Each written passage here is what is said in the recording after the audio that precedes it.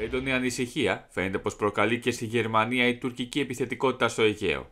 Καθώς την Τετάρτη το γερμανικό δίκτυο RD σε ανάλυση του ανέφερε ότι ο Τούρκος πρόεδρος Ρετζέπ Ταγί Περντογάν σκοπεύει να προκαλέσει όχι μόνο θερμό, αλλά ενδεχομένως και ένα πολεμικό επεισόδιο με την Ελλάδα. Το γερμανικό δίκτυο τονίζει συγκεκριμένα ότι ο Τούρκος πρόεδρος συνιστά πλέον απειλή για το ΝΑΤΟ.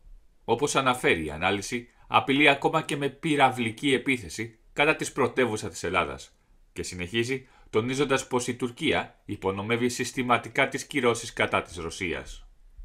Η ανάλυση αναφέρει ακόμα ότι ο Ερντογάν ίσως και να είναι πράγματι έτοιμος να ξεκινήσει πόλεμο με την Αθήνα, ώστε να παραμείνει στην εξουσία. Σε ανάλογο άρθρο, Γερμανός αναλυτής αναφέρει ότι το Βερολίνο πρέπει να εξετάσει σοβαρά την παράδοση των γερμανικών υποβρυχίων η οποία έχει εγκριθεί. Νωρίτερα τη δική του αλήθεια παρουσίασε για μία ακόμη φορά ο Χουλουσία Καρ, αναφορικά με την ένταση στις ελληνοτουρκικές σχέσεις, αφού ούτε λίγο ούτε πολύ επιχείρησε να κάνει το άσπρο μαύρο. Η Τουρκία επιθυμεί τη σταθερότητα στο Αιγαίο απέναντι στις επεκτατικές πολιτικές της Ελλάδας, είπε μεταξύ άλλων ο Τούρκος Υπουργός Άμυνας. Η Τουρκία επιδιώκει την ειρήνη, τη σταθερότητα στο Αιγαίο, ενώ η Ελλάδα συνεχίζει την επεκτατική επιθετική πολιτική της, τροφοδοτώντας την αστάθεια, ανέφερε μεταξύ άλλων ο Τούρκος Υπουργός Άμυνας. Η τελευταία πρόκληση της Ελλάδας είναι το κλείδωμα των τουρκικών αεροσκαφών, υποστήριξε ο Χουλουσία Κάρ, χαρακτηρίζοντας θρασία τη συμπεριφορά της Αθήνας. Η τουρκική τακτική της προσπάθειας συκοφάντησης της Ελλάδας ότι με τα μαχητικά αεροσκάφη της παρενοχλεί ασκήσεις της συμμαχίας του ΝΑΤΟ δεν είναι κάτι καινούριο.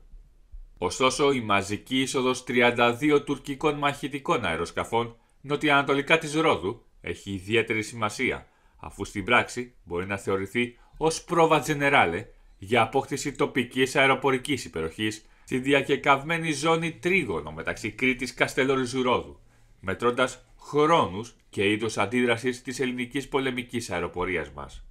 Οι Τούρκοι εκτιμούν ότι λόγω εγκύτητας αεροπορικών τους βάσεων με την παραπάνω περιοχή, ότι είναι ευκολότερο να αποκτήσουν τοπική αεροπορική υπεροχή σε αυτήν, υπολογίζοντας όμως χωρίς τον ξενοδόχο την ελληνική πολεμική αεροπορία. Ευχαριστούμε που μας παρακολουθήσατε. Για να λαμβάνετε πρώτοι όλες τις νεότερες εξελίξεις, κάντε like και εγγραφή στο κανάλι μας. Μην ξεχνάτε να μας κάνετε σχόλια με την άποψή σας.